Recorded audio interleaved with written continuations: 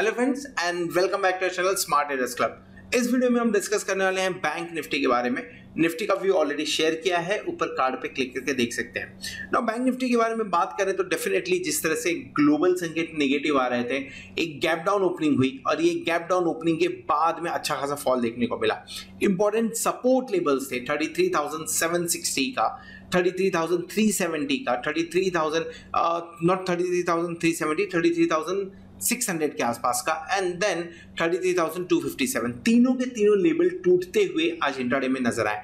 बीच का कुछ timing late से 11 बजे से लेके आप लगभग लगभग ढाई बजे तक का जो टाइमिंग था वो साइडवेज मूवमेंट होता रहा और कहीं ना कहीं ऐसा फील हो रहा था कि इस साइडवेज मूवमेंट के बाद में एक अपवर्ड रैली देखने को मिल सकती है। क्यों देखने को मिल सकती है? क्योंकि thirty three thousand four hundred एक अच्छा सपोर्ट का काम अभी तक कर रहा था। लेकिन वो भी आखिरी के 45 मिनट में टूटते हुए नज़र आया सिर्फ़ एक पॉजिटिव बात जो आपको बैंक निफ्टी से आज के दिन में दिखेगी कि 33,257 के नीचे तो गए हैं पर वो क्लोजिंग नहीं हुई है। क्लोजिंग हमने उसके ऊपर की हुई है। लेकिन क्या ये बहुत बड़ा पॉजिटिव चीज़ है? बिल्कुल नहीं।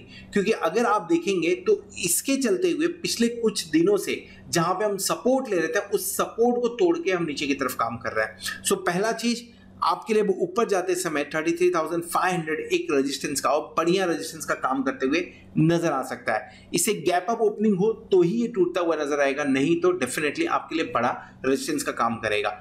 दूसरा 33,700 33,760 एंड 33,984 आपके लिए एक इंपॉर्टेंट रेजिस्टेंस का काम अब करेगा।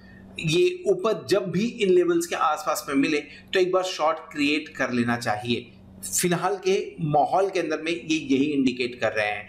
ये जो गैप डाउन ओपनिंग हुई है ये आपके लिए बड़ा रेजिस्टेंस का काम करने वाला है आने वाले कुछ दिनों तक जो कि 33,984 से लेके 34,185 के बीच का यानी 200 पॉइंट का यहाँ पे जब भी आपको दिखे किसी गैप अप की वजह से किसी रीजन की वजह से डेफिनेटली इसके आसपास में आपको शॉर्ट क्रिएट होते हुए नज़र आएगा।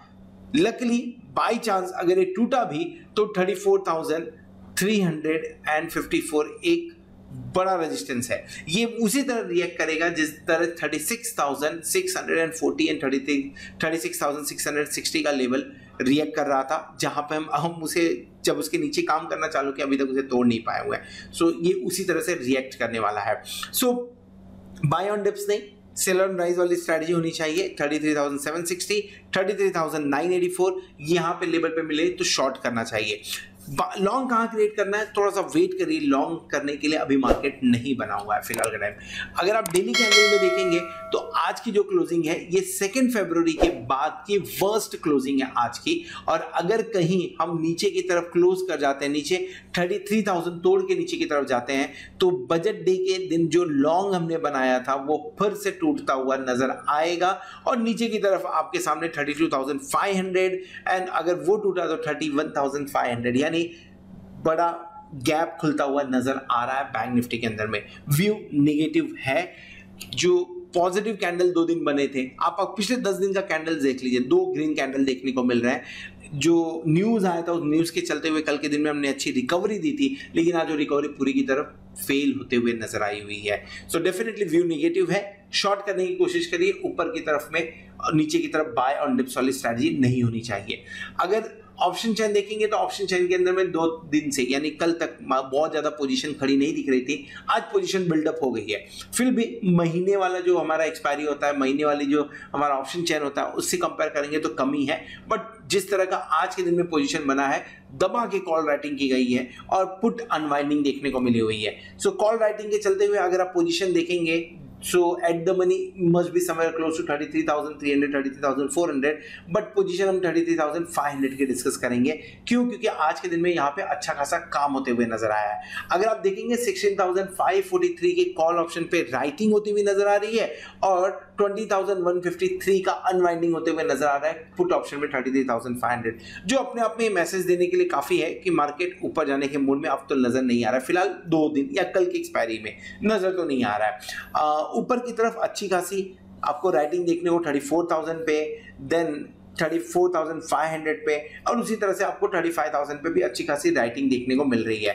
एडिशन सबसे ज़्यादा कहाँ पे हुआ है? सबसे ज़्यादा एडिशन आज के दिन में 34,000 का है जो क्लियर कट इंडिकेट कर रहा है कि कल भी हम 34,000 नहीं तोड़ते हुए नज़र आएँगे। सो प्रेशर इंडेक्स के ऊपर में है और अब ये दिख रहा है।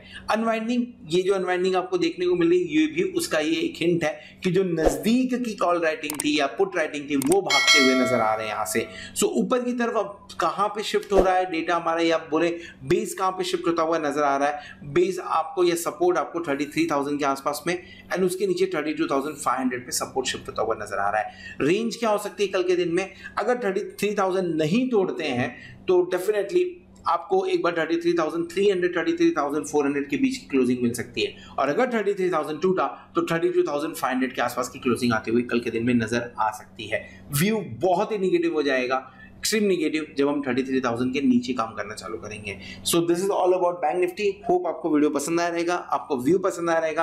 अगर वीडियो पसंद आया तो वीडियो को ज़रूर लाइक करिएगा दोस्तों के साथ में शेयर करिएगा।